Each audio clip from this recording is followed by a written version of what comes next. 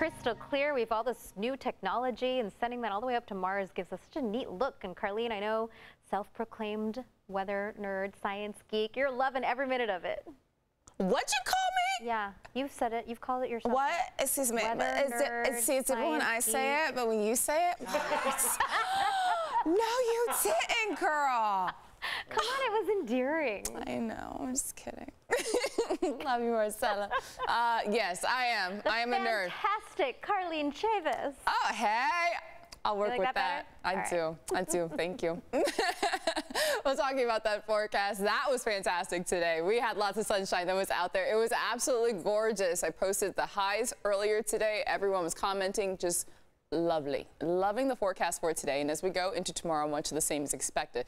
We will see a few added high clouds to the scenery, also some low clouds as well. But for the most part, we're going to stay pretty nice over the next couple of days. High today, well, a lot of them in the 70s. We had that for the valley, 74 degrees. Valley Center, 73 degrees was the high in Escondido. We also still had those upper 60s closer towards the coast. 66 degrees in Oceanside today.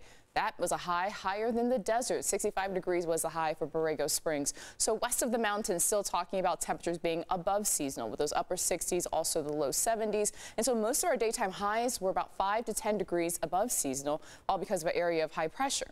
Now, as we go into tonight, we're talking about that high pressure system is going to be squashed out from an area of low pressure, and that's going to steer in that onshore flow. We still have clear skies right now, but it won't stay that way. So patchy low clouds as well as some fog looks to develop in the overnight hours. But right now it's nice and clear for downtown, 55 degrees current temperature and 72% relative humidity. So that weak ridge, it's getting squashed out, all because of an area of high pressure that's going to move in from the Pacific Northwest. As a result, it's going to sweep towards the north of us, so not a rainmaker for us. We'll, we'll see a few high clouds by tomorrow, kind of like we saw earlier today. Nothing that's going to actually block out the sunshine, but we'll have some low clouds in the morning at times, especially with that marine layer moving in. And as onshore flow does resume, that will have our gusts peaking about 40 to 55 miles per hour, and that'll be for the mountains as well as the desert, mainly along the desert mountain slopes. So that will be the key for tomorrow. Also on the water, likely gusts around 20 to 25 knots and a high risk of rip currents at our local beaches. Because those wind speeds are going to pick up, that's for the mountains mainly impacting with this wind advisory.